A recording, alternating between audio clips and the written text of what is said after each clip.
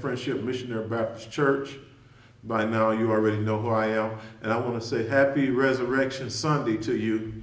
This is a great day to praise the Lord on this day, and uh, Jesus rose from the dead over 2,000 some odd years ago, and He died for our sins. And you ought to be glad about that. If you're if you're here on watching us today, please share our video, please share our broadcast. We come just to encourage and just to lift you up in this hour that we're going through of this pandemic. And I want to tell you that you, if you are here during this season, you are here for the greatest purpose of your life. Because I guarantee you, if you come through this, if you survive Corona, then you will survive anything. But it's only by the help of the Lord that you will come through. I want to give a shout out to my baby son, Avis Williams. He is, uh, today is his birthday. He's 19 years old. And uh, I want to give a shout out to him. Also, I want to remind you, if you have not uh, sent your donations over, you may cash app them to us here at the ship at uh, at uh, cash sign Second Friendship uh, MBC, and uh, we will appreciate it. We thank you, thankful for all your tithes, your offerings, your donations, or whatever you may send over. And I want you to know we are praying for you. And I don't know about y'all, I really, really miss church. And I know I, I, I've been at the house, I've been quarantined, I, I get I don't get out much, but I really miss church. We're praying for all of you. We're praying for our sister church and Pastor Charles Levy and the Family Missionary Baptist Church. We have to be helpers one to another. We're praying for them. We're praying also for our other sister church, the St. Luke Baptist Church, Pastor, our friend and brother, Pastor Orlando Goodman. So I want, I want, I wanted to share a word with you today, and uh, in, in, in the times like these and in the days to come, one of the, uh, I think one of the most tragic things that we face after going through something like this is not being able to identify, really, really seeing and having a relationship with the Lord. Because I'll tell you, God has put us in a position where all of our relationships have been tested to see if we are really connected with God. I tell you, when things were going good, we were quoting the scriptures. Uh, uh, a weeping may endure for a night, and joy cometh in the morning. We were practicing for these kind of situations. But now this situation of weeping has actually come. Who are you going to depend on? Who are you going to run to? Who are you going to look for? You know, we're, we're, we're facing things that we never have faced before. So we must depend on God. We can't get help from the government. You know, we've been waiting, people waiting on stimulus checks. Uh, don't put your hope and faith in it. I believe they will come. But put your faith and hope in the Lord. The Lord resources never will run out. Some of us will get our stimulus checks if we qualify, and we'll be broke before the day is over. We'll be broke. We'll, you know, I, am not against it. I love nice things. I have one myself. We'll, we'll be, we'll have an iPhone. We'll buy, go out and buy iPhones. We'll go out and buy Jordan shoes. But we'll forget about buying the necessities of survival and paying our bills like food, like uh, uh, uh, paying our water, I mean our lights, our gas, our mortgage. And also pick up a book while we're out while you're out or get online and learn how to invest. Uh, we go back, I can't see myself. Learn how to invest your money and, and make your money work for you. Amen. So today, I want to make sure, I want, I want to read this to you and I'm going to elaborate on it. It's from Isaiah chapter number six. Very familiar passage of scripture, very familiar story to anyone that's been in the uh, Christian from any amount of time, Isaiah uh, chapter number six. And uh, I take my hat off to all the pastors and ministries that are here on Facebook and whatever social media outlet they're using. We, uh, we salute you and we're, we're, we're with you 100%. And uh, Isaiah chapter number 6 and verse 1 says, In the year that King Uzziah died, I saw also the Lord sitting upon a throne, high and lifted up, and his train filled the temple. And it says, Above it stood the seraphims, each one having six wings. With twain he covered his face, and with twain, two wings, he covered his feet. And with twain, meaning two, he did fly. And another one, and, and it says, and one cried unto another and said, Holy, holy, holy is the Lord God of hosts. The whole earth is full of his glory. And the post of the door moved at the voice of him that cried, and the house was filled with smoke. And said I, Woe is me, this is Isaiah, for I am undone because I am a man of unclean lips, and I dwell in the midst of people of unclean lips. For mine eyes have seen the King, the Lord of hosts. And then flew one of the seraphims and unto me, having a live coal in his hand, which he had taken from the with the tongs from the from off the altar, excuse me. And he laid it upon my mouth and said, Lo, this have touched thy lips, and thine iniquity is taken away, and thy sins, and thy sin is purged. And also I heard the voice of the Lord saying, Whom shall I send? And who will go for us?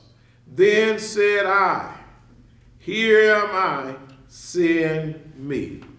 And I and I want I want I want I want to talk there and, and what I want to lift. I've preached this many times, but there's a different subject I want to lift today. In the midst of all of this, hear me, hear me here. Does the Lord have your full attention? That's what I want to talk about today. Does the Lord have your full attention? Why don't you ask yourself that question wherever you're at right now? Does the Lord have my full, uh, does, does the Lord have my full attention? And, and I say that because the Lord has been trying to get our attention for years. Uh, I believe everything that transpires, he allows it to transpire. I, I remember, you remember uh, back here just a few years ago when the uh, housing market had collapsed and we were entering, entering into a recession. Uh, the Lord then, he was trying to get our attention. He had part of our attention or some of our attentions, but he did not have all our attention. Uh, you remember a few years ago, Rita and Katrina, massive hurricanes that hit uh, the state of New Orleans and the southern regions of the United States of America. Uh, he was trying to get our attention, but he just got some of our attention. He, he did not get our full attention. We have, we have had hurricanes, we have had earthquakes, we have had all kind of plagues and diseases that have been saturated or isolated to certain parts of the United States and the world globally but never, or there has been, it has been a long time since we've seen one uh, uh, uh, uh, episode, chaotic episode, affect the whole world. And I want to ask you the question right now through here. Does the Lord have your full attention? Or do you still have your attention on the government? Do you still have part of your attention on your friends? Do you still have part of your intentions on your bank account? Does the Lord have your full attention? And here, Isaiah chapter number six. Uh, Isaiah, Isaiah is here, and he says here, in the year that King Uzziah died, he said, I saw also the Lord. And what he said is, I know I've seen the Lord. I can testify to tell you I know I've seen him because I've seen him. It was in the same year that Uzziah died. And that's something, my brothers and sisters, that nobody should be able to take away from you. You shouldn't have to speculate. You shouldn't have to guess whether you have seen the Lord. You should know for sure that you have seen the Lord. And Isaiah says here, the reason I know I've seen him, because when I saw him, he was high and he was lifted up. He was high and he was lifted up, and, and, and meaning that he had to look up so that he looked up and, and, and, and what he saw had all his full attention. He said he was high and he was lifted up, and his train, his spirit, the train of his spirit filled the whole temple. And what I want, and I want to tell you today that in order to know the Lord in his fullness, you must have had an experience that no one can take away from you. Remember Paul when he was on the Damascus road. He, he, he was knocked down and blinded for three days. No one, and when Paul got up, the first thing he said, Lord, Lord, what will thou have me to do? And I'll tell you, I don't care what naysayer come or what new group come, you need to make sure without a shadow of doubt that I know that I know the Lord. You remember the, the senior saints or the old saints, they used to testify and said, I went to a meeting one night and my heart wasn't right, but something got a hold to me. And look, I'm almost done here. And so, does the Lord have your full attention? Then he goes on to describe, he said, uh, The reason I know, because above him stood seraphims each one having six wings. With two wings, uh, imagine as they covered their face. And with two wings, they covered their feet. And with two wings, they did fly. I, I, I want you to know without a shadow of doubt, we need to have testimony that I truly know who the Lord is. And he has my full attention. I'm, I'm not. I'm, I'm, not. I'm not talking about. Uh, uh, uh, and and, and, I, and I'll tell you, this is how you can make it. You can make it without coming to the physical church when the Lord has your full attention. You can make it without being in the midst of other of other Christians. I love it, and I miss church, y'all, and I can't wait to church come out, come back. I done developed me a new shout, y'all. But, I, but I'm saying, you know you can make it. And Isaiah says here, the reason I know I've seen him, because he had his own personal praise team. And, and, and, and because the reason I know they was personal, because one cried, holy, holy, holy. They were worshiping and praising God. So I say that to say this, that when you do get in God's presence, you don't have to have, you shouldn't have to have to, nobody to beg you to say amen. You shouldn't have to tell nobody to, nobody shouldn't have to tell you to clap your hands or give me a J, give me a E, give me a S, give me a U. You should automatic, when you get in his presence, and I'm telling you, you don't have to get at church. You can be at Kroger's, you can be at Myers, you could be riding in your car. Anybody ever had to pull over to the side of the road before and say, Lord, something just happened. I just want to give you some praise and honor right now. Didn't have no praise team there. The musicians wasn't there. Reverend Williams wasn't there to instruct, instruct me to give him a J, give him an E, give him a S, give him a U, give him a S. But I got off by myself and I throwed up my hands, and all our hands are not holy, y'all. I threw up what I had, I offered it to God, and say, Lord, I'm giving you all the praise, honor, and worship. I'm giving you all what you do, and I'm doing it sincerely from my heart. And here it is. He said, the, the, Lord had his own, Isaiah noticed that the Lord had his own personal praise team. And it says that with two wings they covered their face, and with two wings they covered their feet and with two wings they did fly. And I always wondered why would the Lord's personal praise team have six wings? And how many know every, everything that God made, the way he made it, or everything that it has is for a purpose. And the reason why it had it, the Lord showed me the reason why that he that he had it for a purpose. Somebody trying to call me that that uh, uh, uh, the reason why he had it for a purpose is that uh, when the Lord was in his full uh, uh, posture after praise, when he was in his radiant glory, that lets me know that you know the Bible talks about no man has seen God at any time. So God developed them two wings so they can cover their face because they could not look upon God when he was in his full glory. So when God was in his full glory, they covered their face. And then it said, and then I said, why did they have two wings to cover their feet? Because how many know when we come in God's presence that we got to be careful how we position our feet. Remember when he told Moses in, in, in the desert, he, after Moses discovered that burning bush, and Moses got clear and got close to it, he kept looking at it, the bush would not consume. And he told Moses, take off your shoes, for the ground that you stand on is holy ground. And so what I'm trying to tell you, he, uh, Isaiah is saying here that I know I saw him because he had my full attention. And listen here, when the Lord has your full attention, guess what will happen? He, when he has your full attention, then there will be full compliance.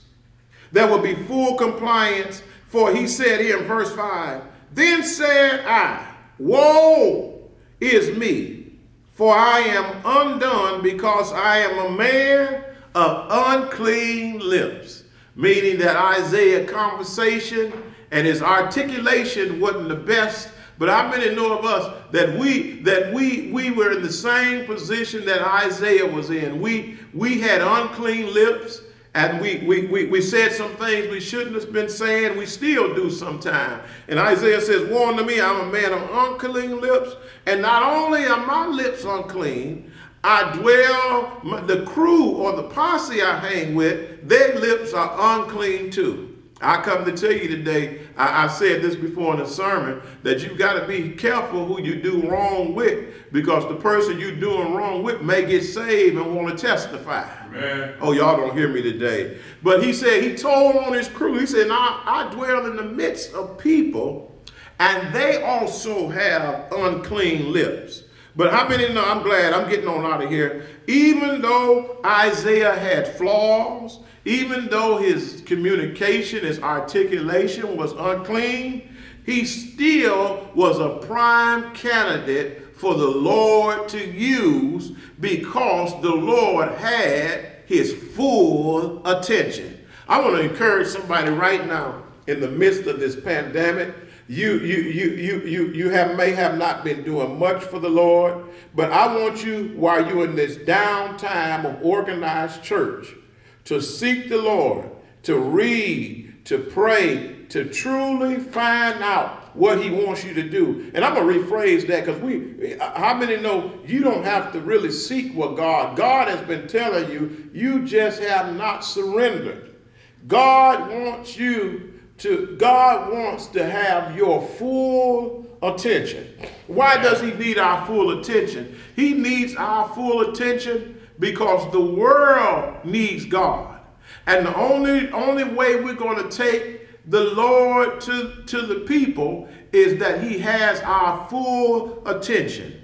This is why I believe the Lord has shut our church down for a while because he wanted the church to come out of the buildings and go out into the highways and the hedges. I know we have parameters, we have restrictions going on, but I want to encourage somebody while we down to just make some tracks, to make some cards, and just distribute them. Put them, put them, hang them up on the poles in your neighborhood. Hang them up. Go down to the grocery store. Put them on the bulletin board. Uh, uh, uh, start you a Facebook Live. And when you start it, don't get on to magnify yourself, but get on to magnify God. Because we, we have enough of us trying to magnify ourselves. Guess what? I may be pastor, but I can't save nobody. I can I cannot I cannot all I can tell you is about somebody who can save anybody. Yeah. When I came up, they sung a song that said, I know a man from Galilee. And if I was on Sunday and I, I was feeling good, I would get out of here right then. If you are in sin, that he will set you free. And so that's what I want to tell you today. He says here, and he said, and, and, and I'm leaving with this. And he says, and, and he and he said, I am a, I am undone because I am a man of unclean lips, and I dwell in the midst of people with unclean eh, lips.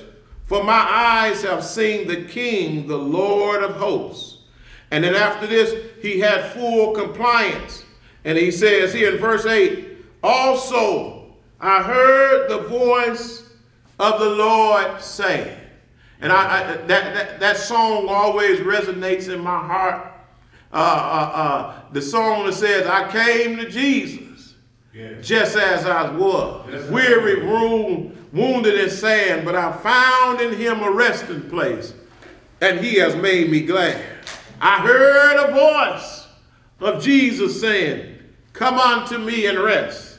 Lay down thy weary one, lay down thy head upon thy breast. Uh, and, and here it is.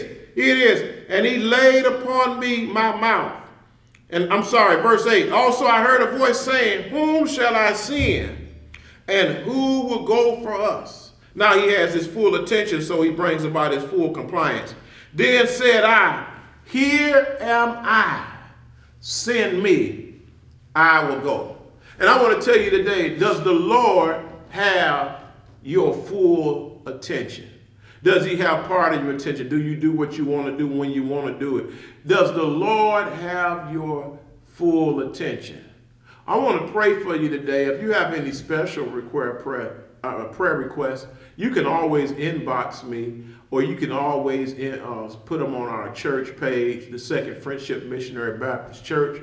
I'm going to pray right now.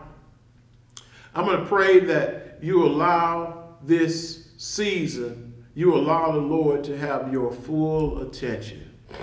You allow him to have your full attention. Here we go. Father God, in the name of Jesus, yes, we come before you right now yes, on this Resurrection Sunday morning, thanking you, Master, for everything that you have done. In fact, one writer said, everything that happened to me that was good, God did it.